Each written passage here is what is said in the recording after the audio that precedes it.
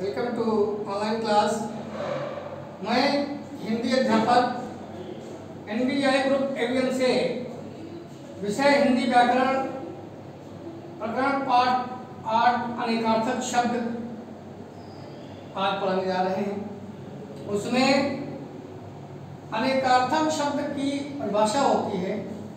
अनेक शब्द है अनेकार्थक शब्द। एक ही शब्द के अनेक करने वाले शब्द को अनेकार्थक शब्द कहते हैं। एक ही शब्द के अनेक अर्थ प्रकट करने वाले शब्द को अनेकार्थक शब्द कहते हैं। अनेकार्थक शब्द कुछ इस प्रकार हैं। जैसे कि पहला है अनंत। अनंत के अनेक अर्थ हैं।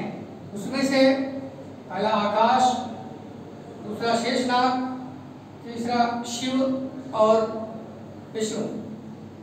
दूसरा शब्द कहलाता है अज। अज के भी अनेक अर्थ होते हैं। पहला बकरा दूसरा शिव, तीसरा ब्रह्मा और जीवात्मा। इसी प्रकार क्रमशः तीसरा शब्द एक आता है अघ। अघ के भी अनेक अर्थ हैं। अघ का पहला अर्थ है अपवित्र, पाप, दुख, दुष्ट और पापी। ये अग शब्द के अर्थ है। क्रमशः और शब्द है, अंक। अंक शब्द के भी अनेक अर्थ हैं। गोद, चिन्ह, संख्या और छा। उसी प्रकार क्रमशः पांचवा शब्द आता है, अगम। अगम शब्द में भी पहला दुर्गम, फिर न जाने योग्य और इसके बाद न चलने वाला।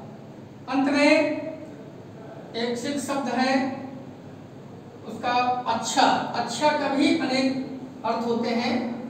पहला सुंदर, दूसरा उचित, तीसरा सकुशल और अंत में भला।